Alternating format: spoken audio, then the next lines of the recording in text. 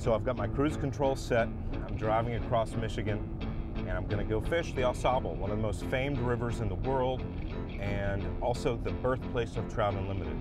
Can't wait to try and catch some of those big fish and learn what inspired the founders of Trout Unlimited on the Au Sable River in Michigan.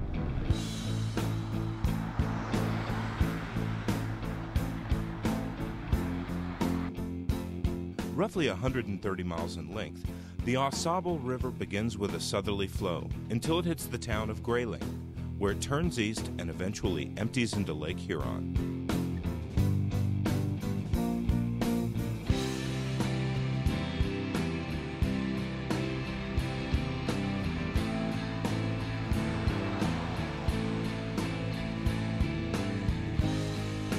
Before I fish the Au proper, I'm heading up along the North Branch to Lovells, a small town steeped in local trout fishing history.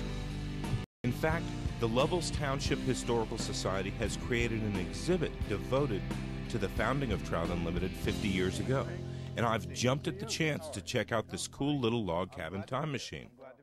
This has been a famous place to fish for well over 100 years. Yes, it certainly has been. Actually, uh, Lovells was a logging town like so many of the towns in northern Michigan, and when the lumber was gone, many of these towns just became ghost towns. Back in the turn of the century, we had industrialists and, and uh, sportsmen from all over the country come up to this area specifically for the fishing.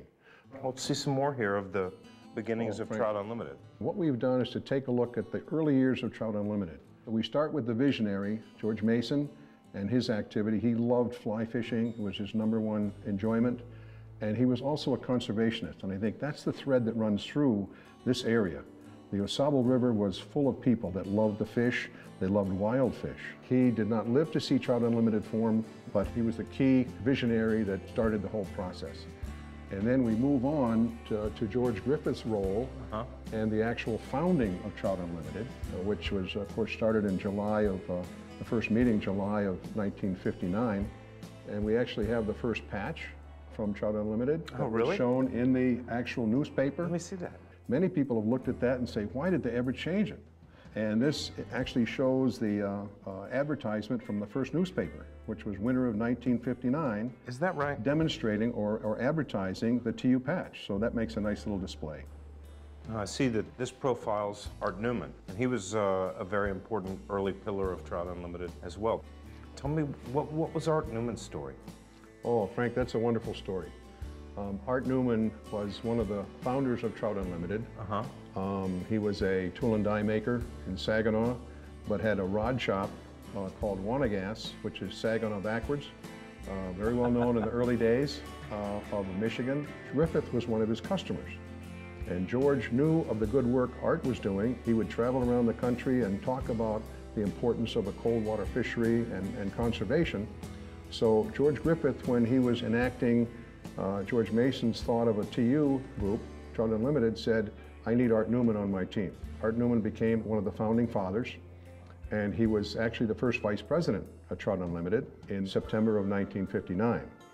And very early on, uh, Trout Unlimited realized his strengths and ability to talk to people and spread the word, and they decided that Art Newman should be their first executive director to really take to you from this simple idea of protect the fish and the fisheries and promote it around the country.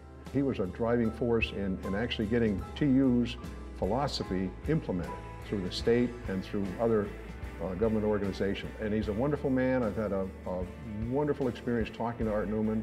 At 92 years of age, he still has the fire. He loves uh, Trout Unlimited, and uh, although he doesn't fish anymore, his spirit's on the river.